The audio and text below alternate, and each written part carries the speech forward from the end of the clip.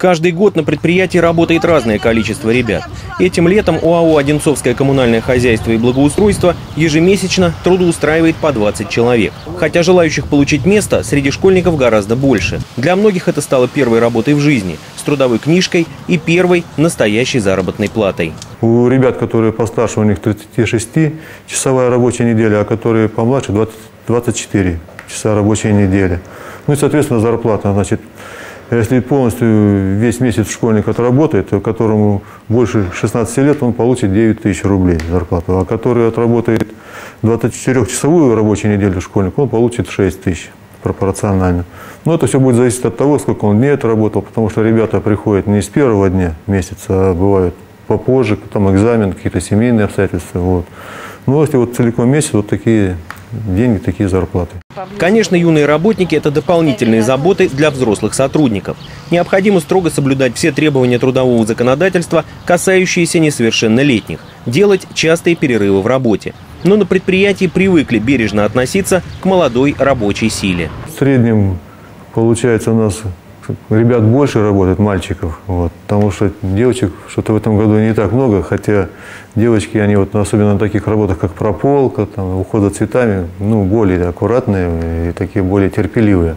Ну, а мальчики, они вот где-то там траву собрать, ветки пока там, ну, какие-то сухие пилить, вот такие, полив, вот такие работы они делают тоже хорошо.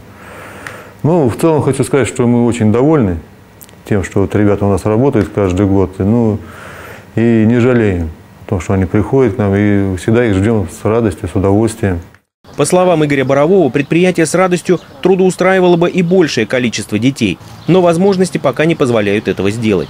К сожалению, фирм, которые готовы на хлопоты и дополнительные расходы по организации летнего трудоустройства школьников, в районе единицы. Поэтому очередь из желающих поработать в каникулы выстраивается еще в апреле. Вопреки расхожему мнению, современные подростки отнюдь не так ленивы. Ну, очень нравится. На свежем воздухе все такие каждый день хорошо. Загораем и работаем. Да, два в одном. Первая работа наша такая серьезная. Я, допустим, живу не в квартире, а в частном доме. Там тоже пригодится. В смысле, да, полоть грядки на огороде. Наташа и Вартик пришли на работу на июнь.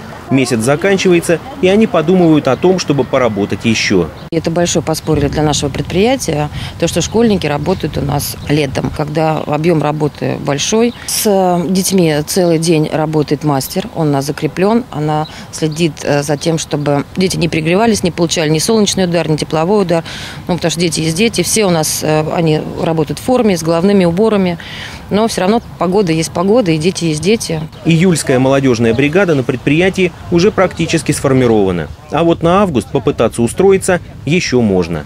Петр Горохов, Евгений Муравлев, телекомпания «Одинцова».